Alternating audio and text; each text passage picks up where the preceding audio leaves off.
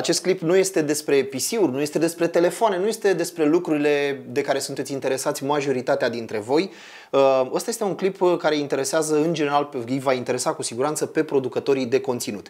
Dar lăsăm introducerea asta deoparte și haideți să vă spunem că astăzi ne-am făcut o bucurie pentru că am fost cuminți și pentru că merităm și pentru că ne dorim să ducem clipurile noastre, mai ales cele de pe canalul nostru de YouTube, Zona IT, abonați-vă, la un cu totul și cu totul alt nivel. Pentru că după cum bine știți, ați văzut că o grămadă de YouTuberi mari pe afară au început să filmeze cu Red, cu tot felul de camere șmechere și am zis, haide să facem și noi sau măcar să ne apropiem, dar la un buget mai de România. Așa că ne-am cumpărat Blackmagic Pocket Cinema 4K. O cameră nu foarte scumpă, este o cameră la 5600 de lei, dar ce face camera asta în banii ăștia este absolut incredibil. Um, deci avem Blackmagic RAW, avem ProRes, avem 4K, uh, 60p, avem 10-bit, avem o grămadă de chestii foarte șmechere și în ultimul rând avem licența unui soft la care noi aici la zona IT am trecut de curând și se, el se numește DaVinci Resolve și iată că avem versiunea Studio care este inclusă cumva în această cameră. Dăm drumul la treabă să vedem cum arată. Este o cameră pe care eu am mai prezentat-o în trecut și care a stârnit și, uh, cum să spun, a stârnit uh, foarte multe discuții, mult mai multe comentarii, like-uri și alte chestii decât m-aș fi gândit vreodată că poate stârni o astfel de cameră, care totuși este un tool dedicat uh, în primul rând profesioniștilor. Uh, nu este o cameră cu care să-ți filmezi pisica, gagica, vacanța și așa mai departe, pentru că discuția asta o tot purtăm aici. Este o cameră gândită pentru focalizare manuală, nu are stabilizare, nu are nimic din uh, bunătățile pe care le au camerele, cum să spun, consumer. Adică inclusiv cele foarte șmechere, care costă mulți bani. Asta este o cameră gândită în primul și în primul rând pentru cinematografuri. Pentru producție de film, pentru producție de clipuri la un nivel foarte ridicat. Haideți să vedem ce avem aici. Welcome! Packaging-ul este foarte mișto, deși este o cameră ieftină. Software and manual, da? Avem și un card. Da! Asta este o chestie care vă spun sincer, mă bucură la fel de tare pe cât mă bucură această cameră. Este licența de DaVinci Resolve 15 Studio și evident în momentul ăsta uh, softul disponibil pe piață este 16 beta, dar 16, așa cum spuneam, este în variantă beta. Oricum poți să-ți faci update uh, este un soft, uh, studio costă numai acela aproape 300 de dolari în condițiile în care camera este 1000 și ceva de euro. Adică foarte tare. Bun, ce avem aici? Avem uh, un pachet cu adaptoare pentru diverse tipuri de priză. Asta este de Statele Unite, de Statele Uimite. Și, ia să vedem, acesta este cel pentru Europa. Și bănuiesc că cel de față este pentru UK, ultimul din pachet. Nu ne interesează acestea. Bun, asta o să le lăsăm în uh, cutiuța lor uh, originală, pentru că bateriile cu care funcționează această cameră sunt LPE6, aceleași baterii pe care le găsești în toate camerele Canon în acest moment. Așadar, cu un charger de Canon sau aftermarket mai ieftin, Uh, poți să ai un standalone cu care să încarci multe baterii. Uh, este unul din punctele slabe ale acestei camere, povestea asta cu, uh, cu încărcarea. Este însetată de curent această cameră, iar bateria asta nu o să țină foarte mult. Blackmagic zice că ține în jur de 20-25 de minute. Niciun individ care și-a cumpărat această cameră până acum a, a spus că nu se ajunge la aceste valori, mai degrabă un sfert de oră este mult mai realist. Așa că îți trebuie o târlă de baterii și motiv pentru care am cumpărat încă una aftermarket uh, ca să fim siguri că măcar în primă fază vom putea folosi camera cât de cât.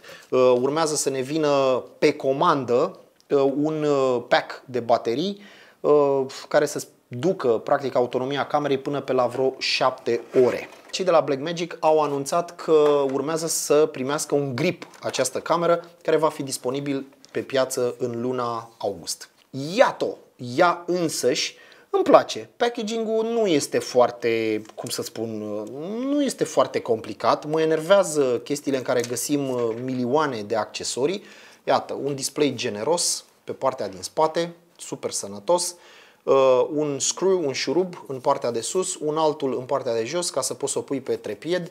Ecranul acesta gigant, cei care vor să afle mai multe despre cameră pot vedea hands-on-ul pe care eu l-am făcut cu câteva luni în urmă pe pagina de Facebook. Nu este o cameră frumoasă, nici se simte plasticos, uh, nu se simte premium, dar este o jucărie robustă, țăpănoasă, nu conte, adică este făcută pentru oameni pentru care cum arată camera este prea puțin important. Important este funcționalitatea ei. Nu este rabatabil acest uh, display, uh, dar are comenzi manuale, are un buton uite, sănătos de on-off, are control pentru ISO, pentru white balance, are și fotografie.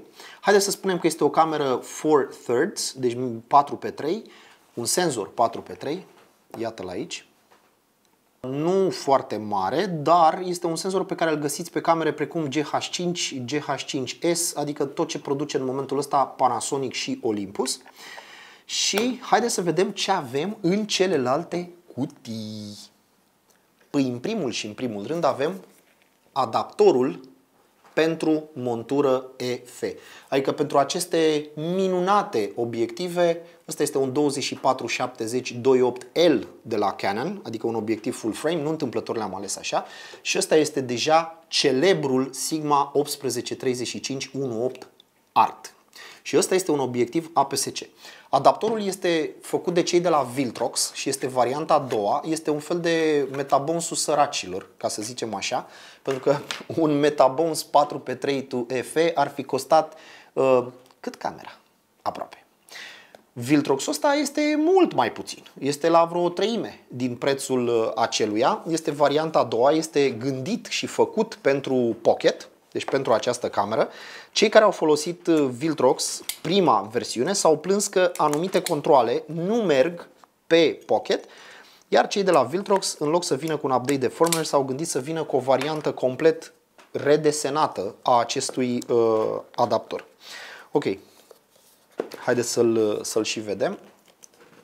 Care este șmecheria cu aceste adaptoare? Ele fac două lucruri foarte importante. Senzorul 4x3 pe care l-ați văzut mai devreme este un senzor care face un crop de 1,9 adică destul de mare. Înseamnă că dacă, de exemplu, ai un obiectiv de 28 de mm, Uh, valoarea lui echivalent 35 va fi de fapt de 56, ceea ce înseamnă că un obiectiv uh, wide, normal, va deveni de fapt un obiectiv de portret. Și aceste jucării, aceste adaptoare, așa cum spuneam, fac două chestii. Odată că um, apropie foarte mult obiectivul de distanțele focale ale senzorului, adică, de exemplu, acesta este 0,71. Dacă vrei să știi cât e un 28 de mm L pe el, mulțești 28 cu 2 și apoi cu 0,71. Partea faină este că pe adaptorul ăsta de 0,71, spre deosebire de cel de 0,64 care este doar de full frame, poți să pui atât APS-C cât și uh, obiective full frame. Dacă în cazul acestui APS-C 18 ori 2 înmulțit cu 0,71, deci ăsta devine un obiectiv de 24 de milimetri, el fiind APS-C. Partea nașpa e că cu ăla de 0,64 teoretic ai fi avut efect de barrel, adică uh, nu împingea destul de departe focala în așa fel încât să nu vezi pereții obiectivului. Ei, Ăsta așadar nu mai intru în detalii, este o poveste foarte, foarte lungă. Dacă vă interesează, spuneți-mi în comentarii și vă răspund. Poate facem un clip pe acest subiect vis-a-vis -vis de adaptoare.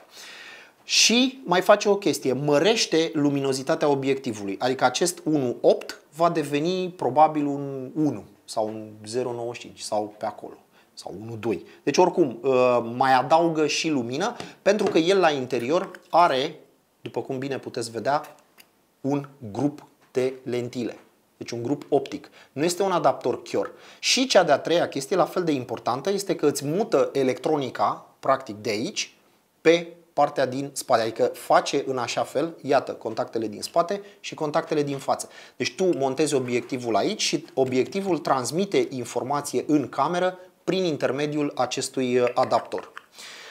Poate vă întrebați de ce nu folosim sau nu am folosit optică nativă, pentru că eu nu am niciun fel de optică 4x3, am avut, pentru că am mai avut un pocket, precedentul, care era foarte, foarte slăbuț și pe care l-am vândut și prin urmare am decis să folosesc, și asta ceea ce vedeți aici este doar vârful icebergului, poate odată vom face un clip despre câte obiective avem și de ce fel. Și crede-mă că, credeți-mă că vă vom da pe spate. Și haideți să montăm întâi acest Sigma superb pe care toată lumea pe net îl desemnează ca fiind The Shizzle. O mare șmecherie și foarte potrivit pentru această cameră. Și iată cât de fain poate să arate. Și acum probabil vă întrebați ce avem în celelalte cutii, pentru că n-am terminat, pentru că na, am fost la cumpărături.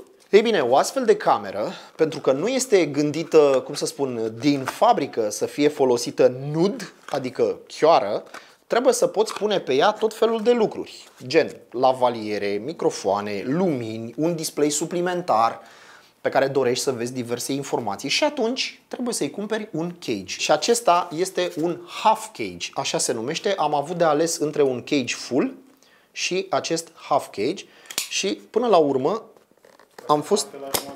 Nu, nu este la jumătate de preț. Chestia aia, știi care este ironia absolută? Că half cage-ul este mai scump decât full cage-ul, dar o să vedeți că există un motiv pentru treaba asta. Există o explicație. Cel pe care îl avem aici este de la niște băieți care se numesc Small Rig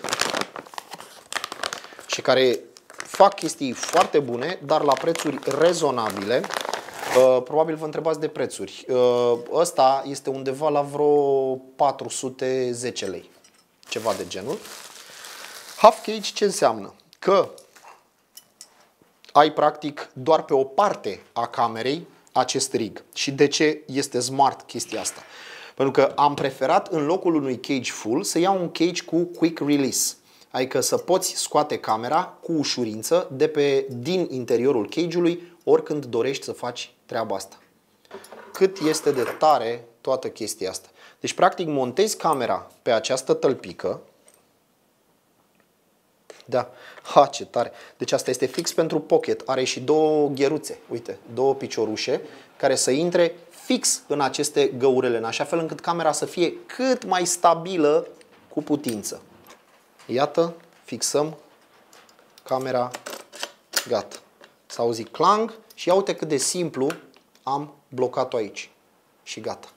Și în acest moment, acest rig îți permite, practic, să montezi pe cameră tot felul de accesorii, orice ai nevoie. Așa trebuie să fie o sculă profesională, țăpănoasă, o jucărie de film. Și da, iată. Deci în momentul ăsta am pus toate cele. Deci nu, băieții ăștia chiar s-au gândit la toate. La absolut toate. Și el este făcut pentru a securiza aici acest suport, acest uh, adaptor. Da? Ca, pentru că lentilele sunt mari, grele și atunci, ca să nu tragă de montura camerei, au adus, au inventat acest accesoriu. Hai să îi dăm power on, așa, măcar de control? Dacă nu-i bateria descărcată. Yes! It's alive! Uite, o mânca tata pe Aici, da, deci avem obiectiv manual, așa cum bine puteți vedea. Iată cât de bine poate să arate această imagine cât de mare, cât de generos este acest, uh, acest monitor. Da, deci setup-ul este absolut superb. Am să vă trec foarte, foarte pe repede înainte uh, câteva informații am să vă spun despre această cameră. Pentru cei care nu știu, acest Pocket este capabil să filmeze în mai multe formate. Două dintre cele care ne interesează pe noi sunt ProRes, care este un standard în industrie, 422 în 10 biți, mare atenție, 4K 60 direct pe card in camera, așadar nu mai ai nevoie de un recorder extern.